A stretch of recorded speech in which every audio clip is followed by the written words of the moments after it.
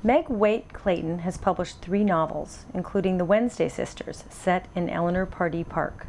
She moved to a community center in 2002, where she lives with her husband, two sons, and a literarily named dog, Frodo. My writing routine is pretty simple and astonishingly boring. I what started writing when I was a when I was a new mom, pretty much. My son was my older son was two, and my younger son was a newborn. So as a as a young mom, I wrote in all the spaces I could. Much like Frankie and the Wednesday Sisters, I wrote at the steering wheel of my car if Chris was off to preschool and Nick fell asleep in the car as I was taking him.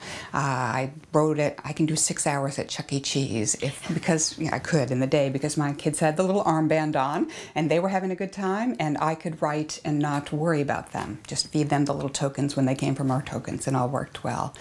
So, so my routine is built on that motherhood. When my children started going to school full, full time, I seized that time for myself and I said, this is going to be my writing time. I am not doing the laundry. I'm not paying bills. I'm not answering the phone during that time. I sit down at 8, which is when they started school back in the day. They're both in college now.